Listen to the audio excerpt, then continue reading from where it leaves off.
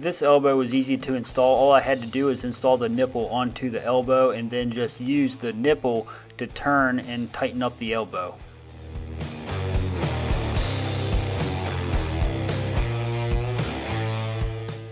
It was a little bit of a challenge to tighten up this elbow inside the joist space. I just had to go little quarter turns at a time.